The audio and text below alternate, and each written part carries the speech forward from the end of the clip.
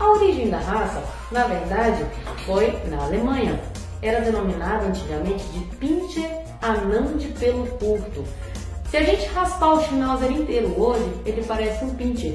E aí achavam que o Schnauzer era um Pinscher anão de pelo duro. E depois, na verdade, desvinculou e foram raças diferentes. Tem o Pinscher e tem o Schnauzer. O Schnauzer é extremamente inteligente, submisso ao dono, uma raça bem bacana para quem tem alergia por não cair pelo.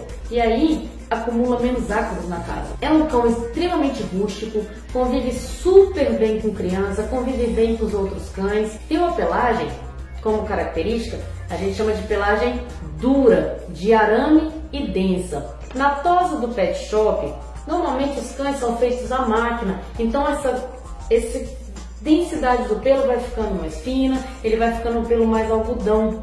Então não fica assim. Para ele dar uma continuidade a um pelo duro, a gente tem algumas técnicas artesanais que se usam bastante em exposição, que é a técnica de stripper com a mão ou com a faquinha própria.